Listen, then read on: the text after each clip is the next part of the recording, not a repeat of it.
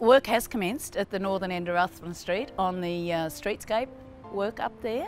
Uh, this is to reinvigorate the city centre and take the boulevard feel down to the northern end of Ruthven Street. Uh, we are aware of the community's concerns uh, down there, the traders, and we need to stress that all those shops will have access and they will be open for business through, throughout these works. The works we're doing down there as well as replacing stormwater uh, infrastructure under the ground uh, which was damaged. We're putting new water mains and the Ergon are undergrounding the power. The actual footpath treatment will be very similar to what we have here in front of City Hall and there'll be trees and a boulevard feel.